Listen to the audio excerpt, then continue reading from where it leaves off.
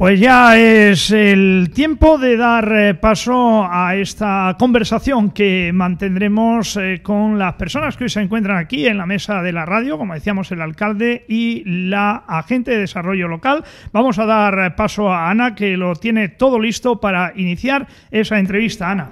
Pues muy buenos días, don José Antonio y doña Pepi Álvaro. bueno, ¿qué es exactamente el proyecto de formación Aprendicex?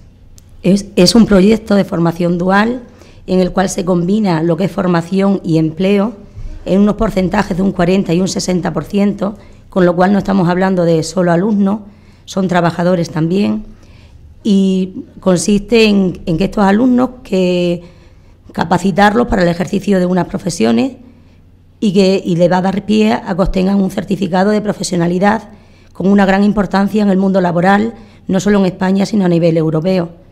O sea que no solo estamos hablando de una formación, sino de una formación y un empleo. ¿Qué especialidades se van a desarrollar?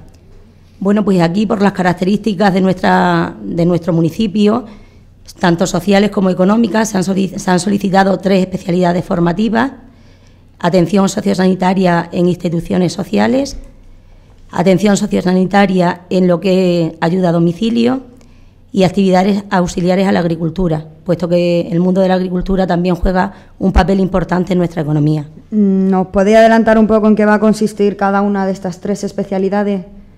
Mm, consiste en, unos módulos formativos, ya que ya nos vienen especificados en el certificado de profesionalidad, sería prepararlos en el, en el caso de en instituciones sociales, harían las prácticas en los pisos tutelados y centros de día del municipio, dentro de la formación, dentro del proyecto formativo, que es de 12 meses.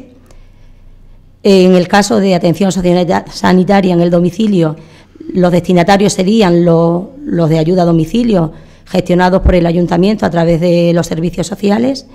Y en el caso de atención perdón, de actividades auxiliares a la agricultura, se compone de dos líneas. Una que es eh, sembrar secano en, en terreno, que no puede ser de otra manera, propiedad del ayuntamiento. El secano que se sembraría sería desde el principio hasta final avena, trigo, cebada y girasol. Y después tenemos otras parcelas que van a estar destinadas a lo que es hortofrutícola, como puede ser la celga del pueblo, berenjena del pueblo. Se intenta recuperar con el proyecto eh, la huerta que tanta importancia ha tenido en otras ocasiones y de hecho los productos que se quieren producir, entre otros, son los locales. O sea, nos has comentado que la formación dura un año, pero que eh, dentro de esa formación también va a haber un periodo de prácticas. Mm, a ver, la formación es un proyecto, por lo que he dicho, de formación dual, con lo cual combina empleo y formación. Eh, realmente los alumnos son alumnos trabajadores y realizarán eh, trabajos efectivos. O sea, sembrarán, eh, cosecharán, abonarán, en fin, realizarán todos los procesos. Eh, la gran diferencia que tiene este proyecto de formación dual con respecto a las equiparables escuelas, mm, perdón, talleres, escuelas taller antiguas, es que una vez finalizados estos 12 meses de formación y empleo, tienen la posibilidad de realizar prácticas en empresas reales del municipio que ya se han adherido a este proyecto. ¿Y a qué sector de la población va enfocado? Tienen que ser, evidentemente, personas desempleadas entre 18 y menores de 25 años. Eh, estas personas, digo menores de 25 años, en el sentido que si este proyecto tiene previsto ponerse en marcha el 18 de, de noviembre, bueno, pues a esa fecha tienes que tener 24 años, independientemente de que cumplieran los 25 en diciembre. O sea, la fecha de, de selección y a la fecha de contratación tienen que tener menos de 25 años. ¿Y dónde se puede realizar esta solicitud? Las solicitudes las vamos a tener, bueno, al alcance de todos a través de las páginas web del Ayuntamiento de Cabeza del Buey, a través de la página del Gobierno de Extremadura, del Extremadura Trabaja, eh, estarán físicamente en oficinas generales del ayuntamiento y en las oficinas del SESPE. Eh, es un modelo normalizado del, del SESPE y a él habría que acompañarle de la titulación máxima que la persona posee así como de, de otros títulos o cursos a los que pueda, que pueda tener la persona relacionados con la especialidad formativa. También aclarar que la persona o el desempleado que reúna estos requisitos puede acceder a más de una especialidad formativa, ¿vale? Pero tendría que presentar una solicitud por especialidad formativa. ¿Cuándo se tiene previsto comenzar esta formación? Bueno, eh, buenos días de nuevo, Ana, eh, José Luis, Pepi, gracias por explicar este proyecto a, la ciudad, a, los, a los vecinos y vecinas de Cabeza del Buey. Eh, en cuanto a la temporalización del proyecto, que creo que me has preguntado eso, ¿no? sí, ¿cuándo está previsto? Está previsto. Ahí, ayer se hizo la oferta de, empleo al SESPE del alumnado, el día 22 de octubre. Hoy, día 23 y hasta el día 29, tenemos lo que es la difusión y presentación de solicitudes que eh, como bien sabéis y se ha dicho en los medios de comunicación, las solicitudes se pueden eh, recoger y cumplimentar tanto en el SESPE como en, la entidad promotora, que en este caso es el Ayuntamiento de Cabeza del Buey, hasta fecha límite 29 de octubre, desde hoy hasta el 29 de octubre. El SESPE en, el periodo del 7 y 8 de noviembre eh, sacará unos listados provisionales en base a los criterios del decreto eh, los listados definitivos mm, se, pondrán también tanto en la entidad promotora, que es el ayuntamiento, como en la oficina del SESPE el día 11 de noviembre.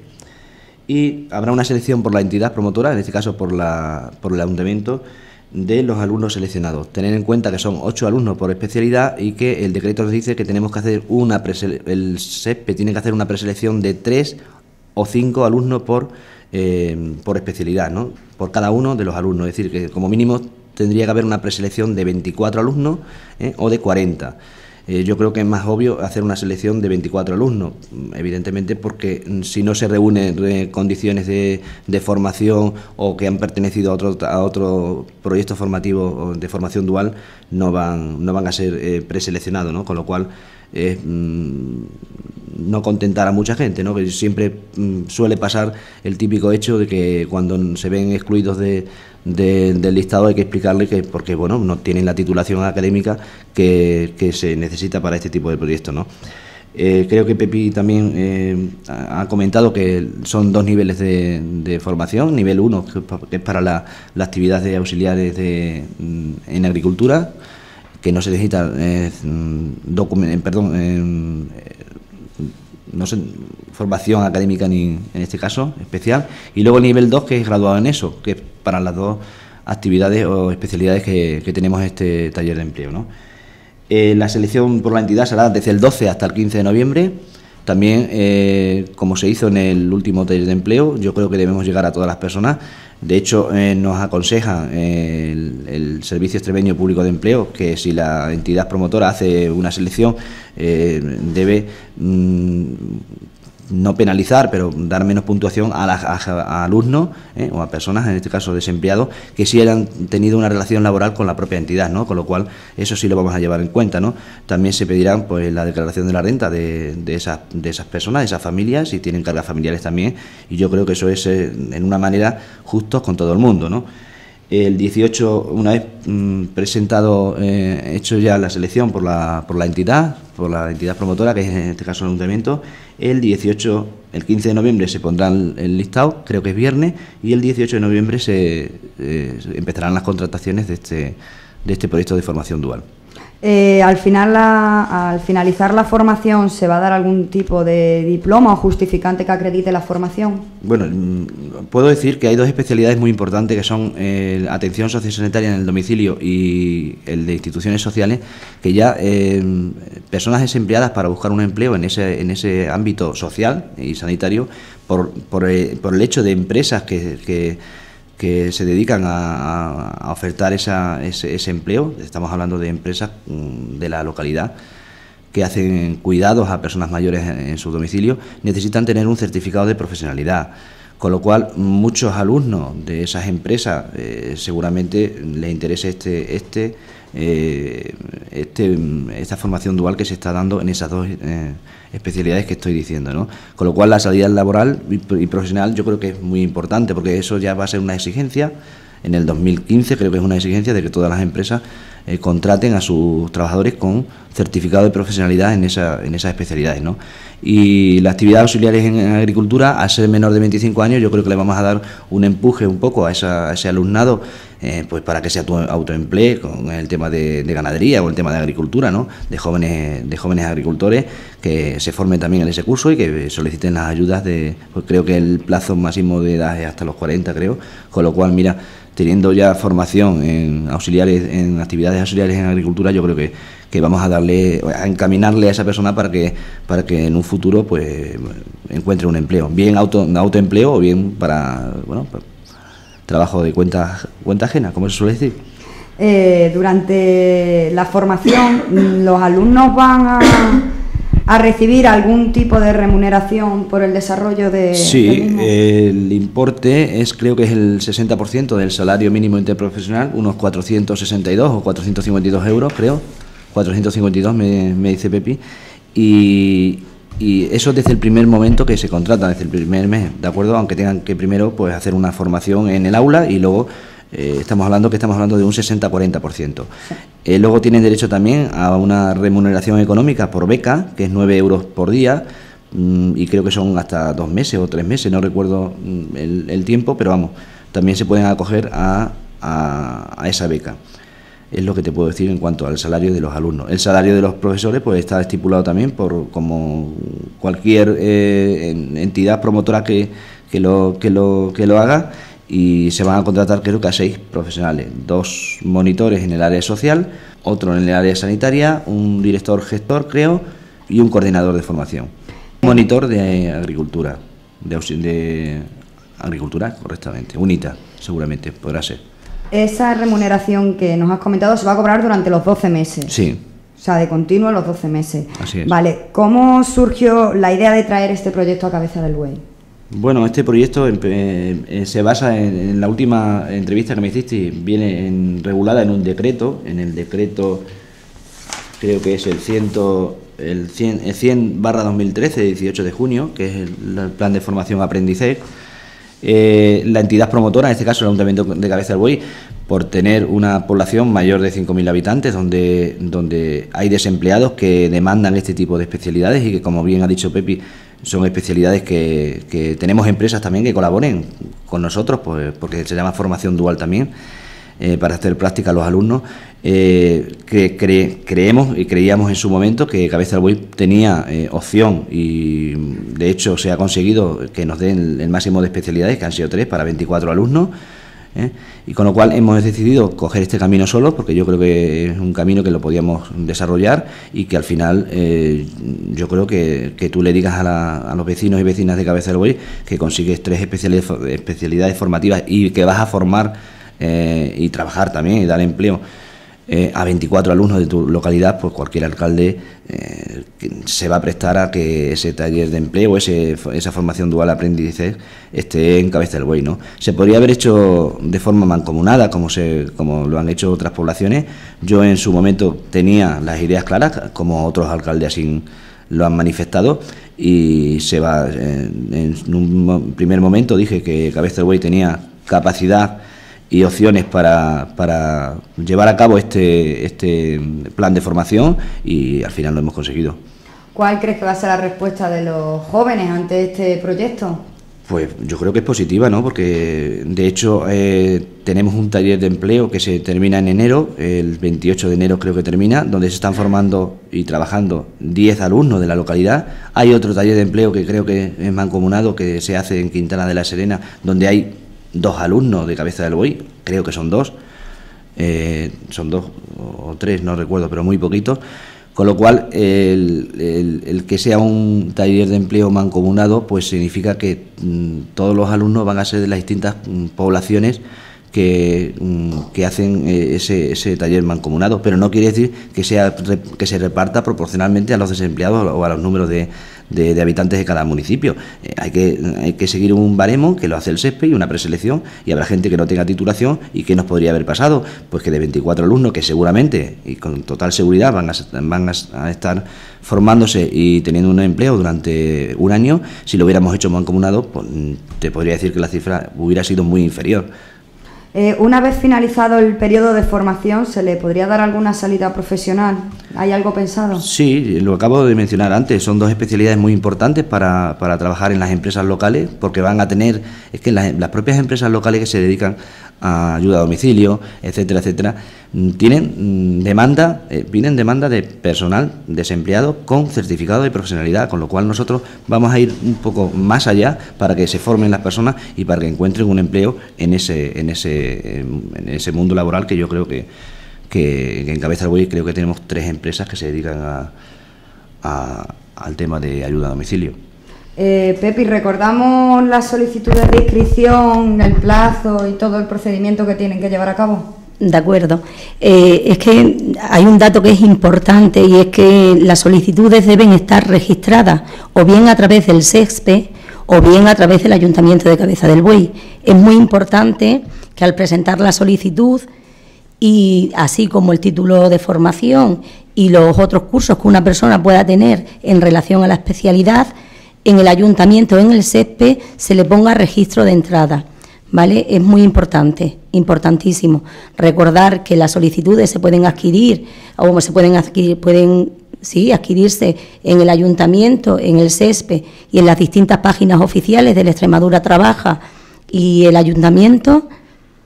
Y, nada más, animaros. Quiero decir, la formación cuesta, cuesta un dinero, todo para formar, formarnos nuestros padres han pagado y en este caso se van a formar y van a trabajar desde el primer día 30 personas en nuestra localidad, con lo cual yo creo que, que es una alegría el que se nos haya concedido este proyecto. Y recordar que el plazo de presentación es hasta el día 29 de octubre a las 2 de la tarde.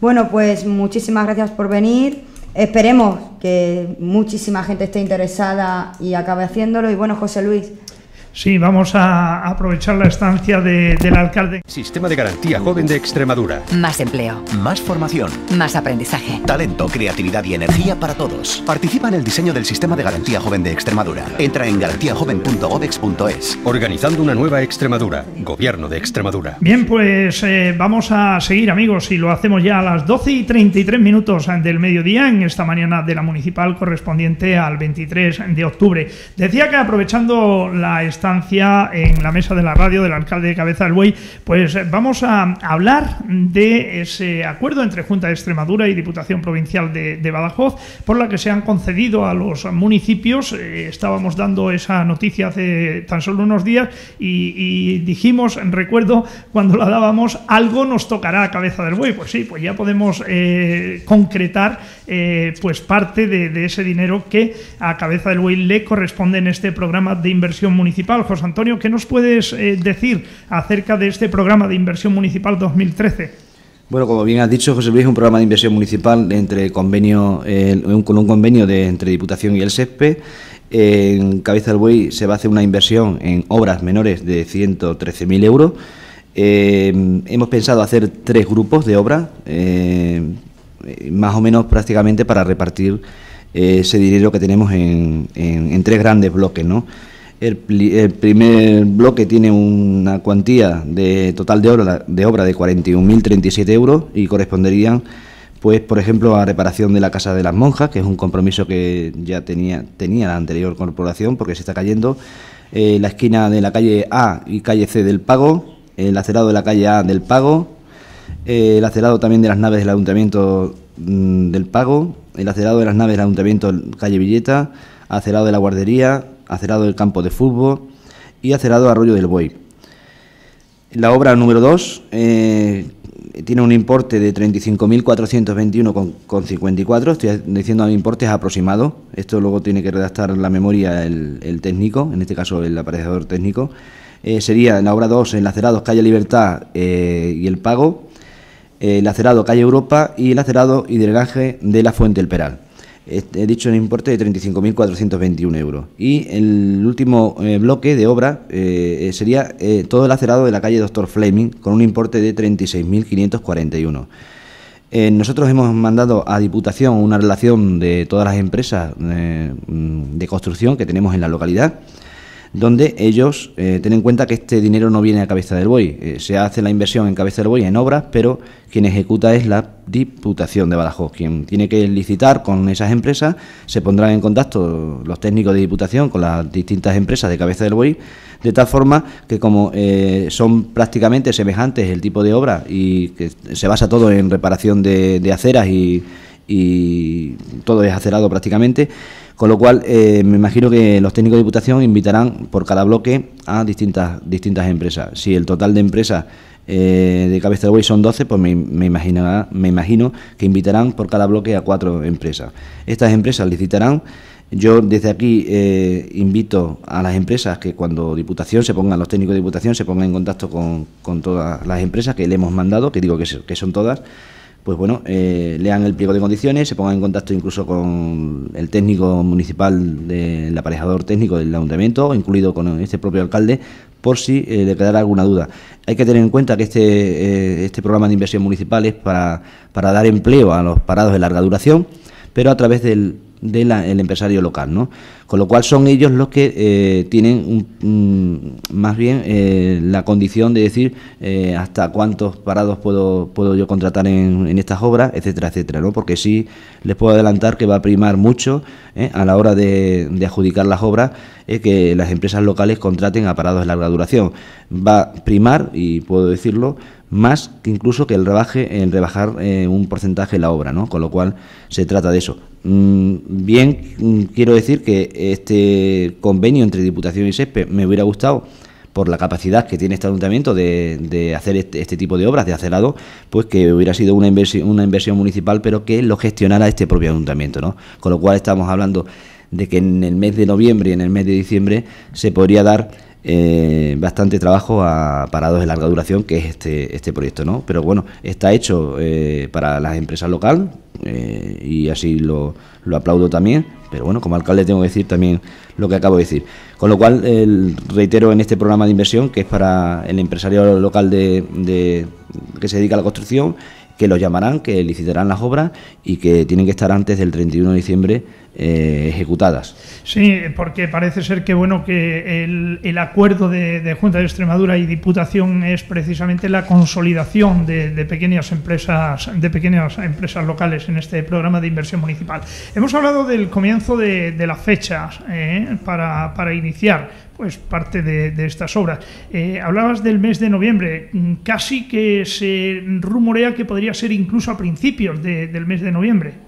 Eh, sí, me imagino que nosotros ya hemos mandado eh, el, valor de las obras, como bien he dicho antes, y se le ha mandado una relación de las empresas que, que son susceptibles de ejecutar esas obras. Son todas empresas locales, ¿no?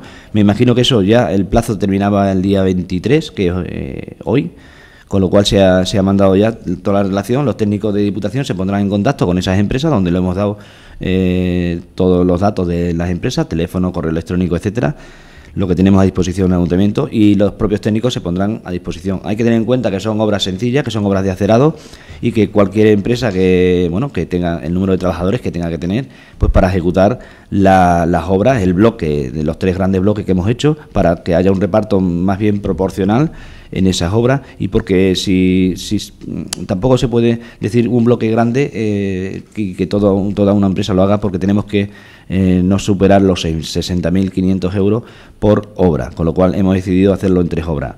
El comienzo eh, debe ser inminente, ten en cuenta que en noviembre y diciembre también eh, estamos hablando de obras que se van a hacer a pie de calle, porque son eh, asfaltado de calle, son acerados, etcétera, etcétera, con lo cual la inclemencia del tiempo pues también puede retrasar en un momento dado la ejecución de esa obra, ¿no? Pero bueno, el compromiso de las empresas debe ser que la tienen que tener ejecutada antes de final de año y eso son unas condiciones que ponen la Diputación. No, no estamos gestionando nosotros las obras, es Diputación quien lo quien lo realiza. Bueno, pues esta es la, última hora en cuanto a información municipal, información que en este caso pues nos llega directamente del alcalde de, Cabeza del Buey. ¿Alguna ultimita hora en, la alcaldía, José Antonio? Bueno, mm, aprovecho también que me gustaría también, que me han parado algunos vecinos pues, sobre cuándo van a empezar las obras de, la EPSA 2003. Eh, van a comenzar el día 4 de noviembre las obras Me gustaría recordar también a los vecinos que de Cabeza del Buey las obras que, incluyen este, este proyecto AESA 2003, que son eh, actuaciones en, la pista del Parque Municipal y otras, ¿no? entre ellos el acerado también de calle Esteban Blanco y Don Cristino, ese avineamiento y pavimentación de la pista del Parque Municipal, acerado en la calle Félix Rodríguez de la Fuente, pavimentación de la calzada de la calle de Noria, la primera fase, que es la calle que va hacia abajo, que no tiene salida, el acerado en los números impares de la calle Secomoyano, el pavimento de la calzada de la calle Travesía de la Cruz, que es una cosa que, que bueno, que estamos también estudiándolo, pero que se aprobó, y el pavimento de, la calzada en calle Belén, la primera fase. ¿no? Estas obras tienen un presupuesto para, hablando en, como se suele decir, los jornales que se van a dar en, al régimen especial agrario, lo que es la ESA, van a tener un presupuesto de mano de obra de 194.721,70 euros. A esto hay que sumarle también una partida en materiales, que son 70.000 263 y que los materiales, como hemos hecho siempre desde que llegamos a la alcaldía, se van a licitar a las empresas locales de, materiales. Eso, es en cuanto al proyecto de AESA 2013.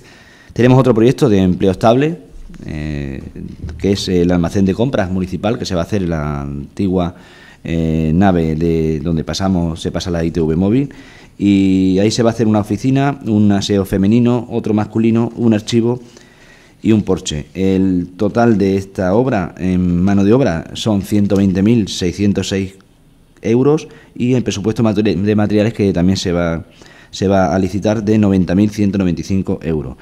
Eh, también tiene previsto que a mediados de noviembre, porque todo este el empleo estable ya ha pasado todos los filtros de, de la distinta eh, de la Consejería de Fomento, está ahora mismo en Hacienda y seguramente que para finales de noviembre, mm, espero que sea antes, comience también las obras del proyecto de empleo estable.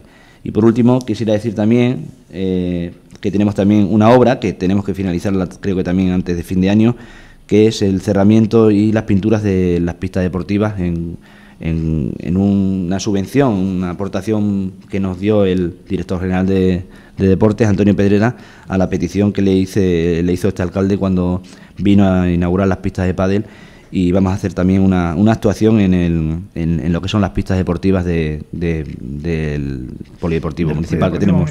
Esos son más o menos a grandes rasgos las obras que tenemos y que vamos a comenzar, con, si el tiempo lo permite. Eh, tengo que decir siempre que ahora se acerca un periodo también de, recogida del fruto que tenemos en Cabeza de la que es la, en la aceituna, ¿no? Con lo cual yo siempre les digo a los obreros de mm, a los obreros del campo, ¿no? Que si tienen que dar jornadas en el campo y les toca trabajar, evidentemente ellos tienen la opción de elegir. Aquí no se va a penalizar a nadie ni, ni en ningún momento yo entiendo que son jornales que, también deben aprovechar estas, estas personas y como en otras ocasiones se les va a dar total libertad para que ellos elijan y vuelvan a salir en otra subvención, no va a haber ningún problema. Pues muchas gracias a Juan Antonio Fernández Mora por haber estado otra vez aquí, por habernos contado toda la actualidad eh, municipal y bueno, pues siempre que haya algo le esperamos en esta mesa de la radio. Pues gracias a vosotros, muy muy amable. Buenas tardes. Gracias. Sistema de Garantía Joven de Extremadura. Más empleo. Más formación. Más aprendizaje. Talento, creatividad y energía para todos. Participa en el diseño del Sistema de Garantía Joven de Extremadura. Entra en garantiajoven.gobex.es. Organizando una nueva Extremadura. Gobierno de Extremadura.